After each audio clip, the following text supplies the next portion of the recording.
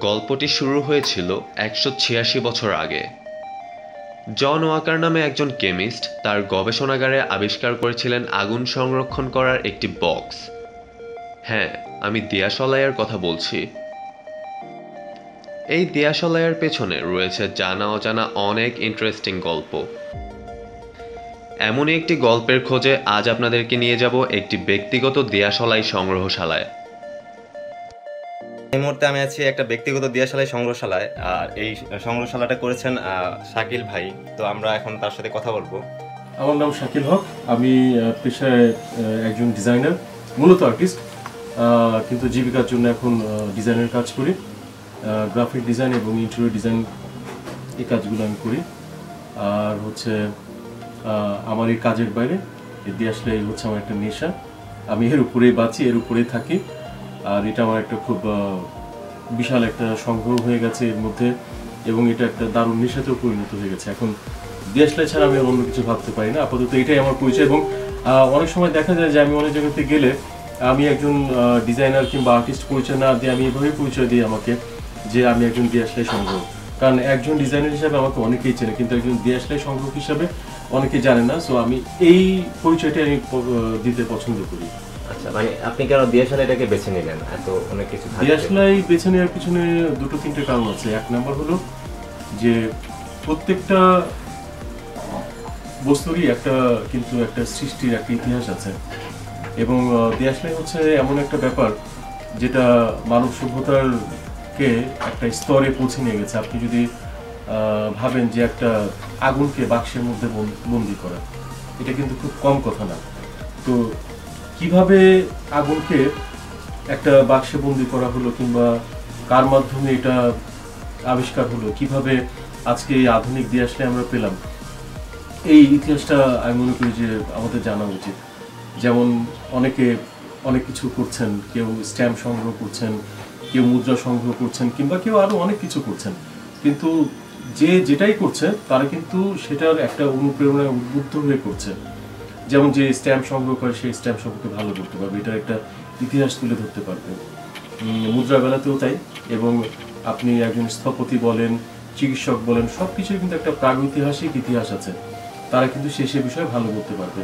যেমন শখের বাইরে আমি যেমন একজন চিত্রশিল্পী, চিত্রকলা সম্পর্কে আমার কিছুটা জ্ঞান আছে। তো সেইভাবেই ধারাবাহিকতাতেই আমি ভাবি যে এই যে দিয়াশলাইয়ের যে ইতিহাস এটা আমাদের জানা উচিত। ওই অনুসন্ধান থেকেই মূলত শখটা জন্মালো আর মূল শখের বীজটা হলো আমার বাবার কাছ থেকে। কারণ উনি নিজেও একজন সংগ্রাহক ছিলেন। কবে থেকে মূলত দিয়াশালাইটা সংগ্রহ করছেন আমি ছোটবেলা থেকেই করতাম। আমার জীবনে দ্বিতীয়বার সংগ্রহ শখটা জাগে এটা হচ্ছে দুই হাজার বারো সালে। সব থেকে এক্সপেন্সিভ ম্যাচ যেটা আমার কাছে সেটা হচ্ছে এই আঠারোশো ষাট সালের ক্যাপসুল ম্যাচে তো এই ম্যাচগুলো ভীষণভাবে দুর্লভ। তো সাধারণত আমি যে ম্যাচগুলো যে কিংবা দেশগুলো যে সংগ্রহ করি, এগুলো মূলত আদান প্রদানের মাধ্যমে। পৃথিবীর সব থেকে ছোট ম্যাচটা আছে বাট পৃথিবীর সব থেকে বড় ম্যাচ নেই বাট পৃথিবীর অনেক বড় ম্যাচ আমার কাছে আছে সব থেকে বড়টা আমার কাছে নেই। এখন পর্যন্ত আমার সংগ্রহের সব থেকে ছোট ম্যাচ যেটা, সেটা হচ্ছে এটা। এটা পৃথিবীতে আছে দুটো। দর্শক, দেখতে পাচ্ছেন পৃথিবীর সবচেয়ে ছোট ম্যাচ। সেটা হচ্ছে এই যে ভাইয়ের কাছে যেটা পৃথিবীতে দুইটাই কালেকশন আছে এবং একটা হচ্ছে শাকিল ভাইয়ের কালেকশনে দেখতে পাচ্ছেন আঙ্গুলের মাথায় রাখা যায় যে ম্যাচটা। এটা হচ্ছে পৃথিবীর সবচেয়ে ছোট ম্যাচ। এটা জ্বালাই কীভাবে? গিনেস বুক এটার নাম আছে। এটা লিপকা রেকর্ডের নাম আছে এটা। আচ্ছা। এবং হচ্ছে মানে আপনার কালেকশনের বড় ম্যাচটা দেখতে আমার কালেকশনের বড় ম্যাচটা যদি দেখতে চান তাহলে এটা হচ্ছে এরকম। এটা জাস্ট তোমাকে আমি দেখাচ্ছি একটু।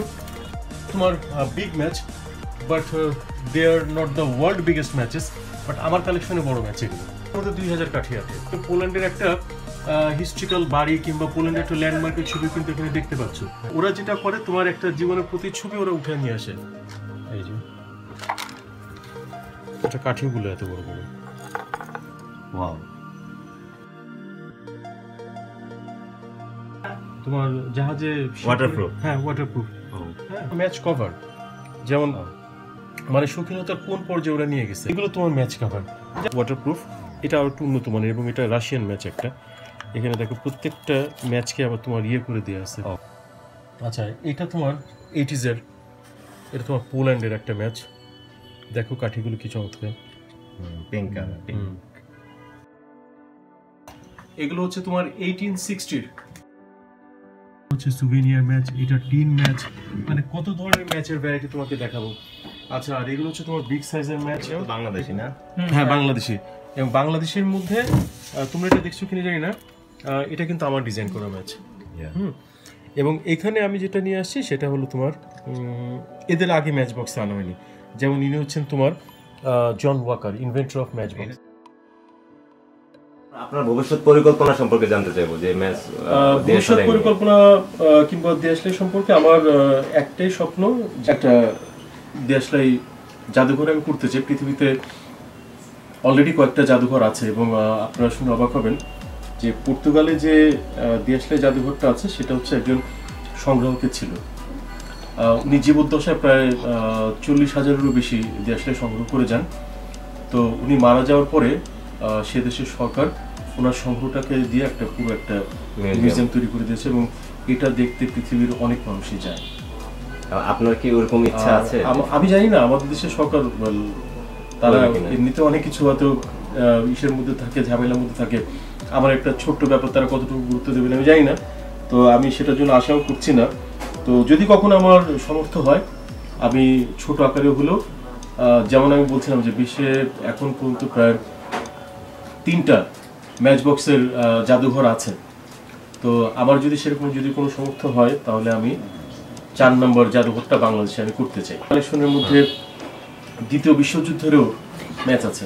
দ্বিতীয় বিশ্বযুদ্ধ এটা দ্বিতীয় বিশ্বযুদ্ধের ম্যাচ এবং এই ম্যাচটা মূলত ব্যবহার করা হতো গাড়ির জ্বালানি জ্বালাতে। একটু খুলে দেখতে চাই। হুম এবং এটার কাঠিগুলো খুব ডিফারেন্ট কারণ আমার যে সংগ্রহটা আছে সেটা আপনাদের একদিনে আসলে দেখে শেষ করার মতন না যদি প্রত্যেকটার পিছনে যদি একটা হিস্ট্রি জানতে চান কিংবা এক্সক্লুসিভের পিছনে যদি একটা হিস্ট্রি জানতে চান।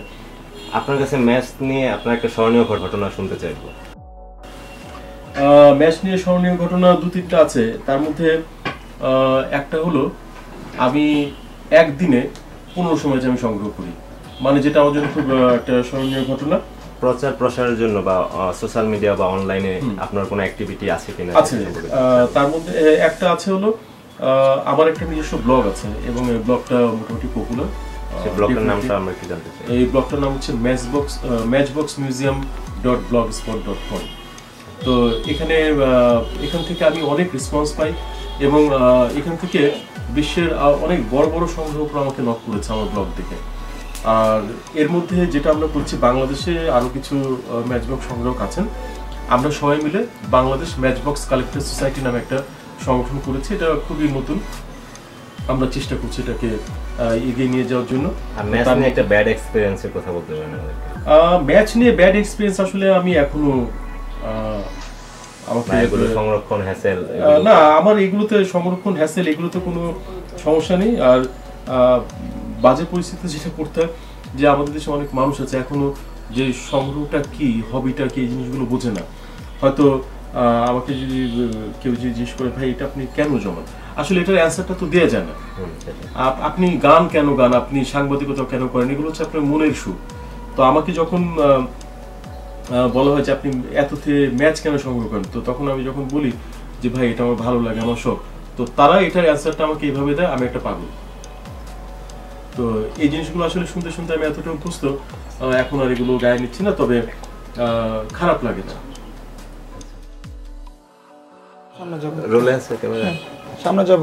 ওকে আমরা একটু ক্যামেরার সামনে আসতে হবে কারণ এটা হচ্ছে আমাদের একটা অ্যাসাইনমেন্ট থাক রোলে আছে না? ওকে সবাই কি আছি আমরা প্রেমে? এটা হচ্ছে একটা ডিফারেন্ট টাইপ কাঠি, যেটা হচ্ছে পুরোটা জ্বলবে কিন্তু ভেঙে পড়বে না যে দেখতে পাচ্ছেন। আর এরা এটার কাঠিগুলো হচ্ছে অনেক বড় বড়। এটা হচ্ছে এটা বক্স। দেখতে পাচ্ছেন চেহারা সমান কাঠি। আর আমার ক্যামেরার পিছনে যারা ছিল